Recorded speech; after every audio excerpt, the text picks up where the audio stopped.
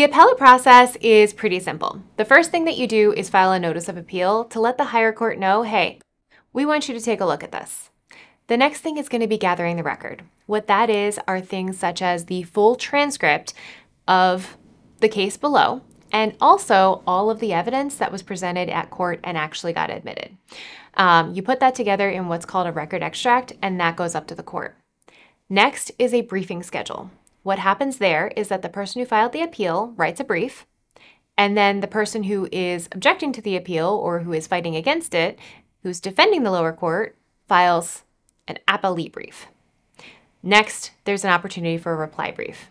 This also can be a little bit more back and forth because sometimes there are cross appeals. But either way, there is a briefing schedule. And finally, there is oral argument.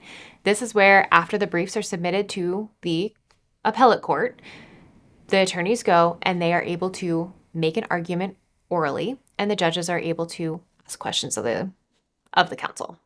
There also might be an opportunity in there for mediation at the appellate level, but that is not guaranteed. And if it does happen, in my opinion, it's not all that successful, but it's always worth it to try because if you can succeed at mediation, it's a lot less expensive than going through with a full appeal.